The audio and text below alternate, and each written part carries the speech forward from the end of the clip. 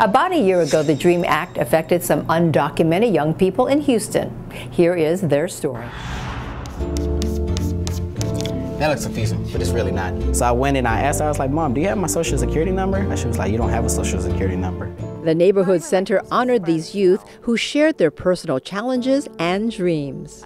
Tonight is really a celebration and a celebration about the journey that our dreamers, one year today, President Obama signed an executive order allowing our undocumented youth who had met criteria to get a permit.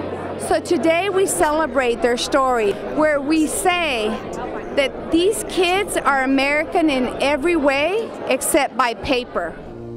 They've gone to school, they've worked hard, they've gone to college. Kids who've done everything we've asked of them. Let's give them that chance.